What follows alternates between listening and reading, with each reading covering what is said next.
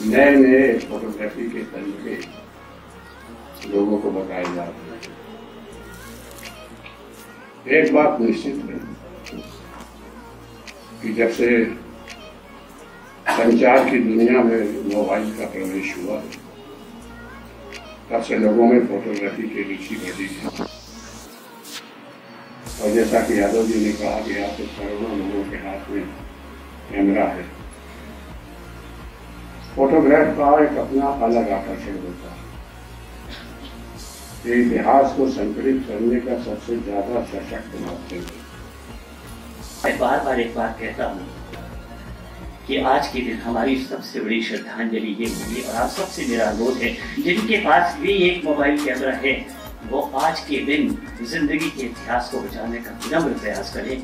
आज आप किसी बड़े बूढ़े बुज़ुर्ग की एक तस्वीर ज़रूर उतारें। ये विश्व फोटोग्राफी दिवस को सबसे बड़ी हमारी समर्थन होगा हमारा।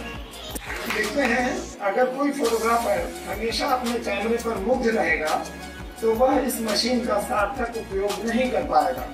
कैमरा साधन है, साध्य नहीं।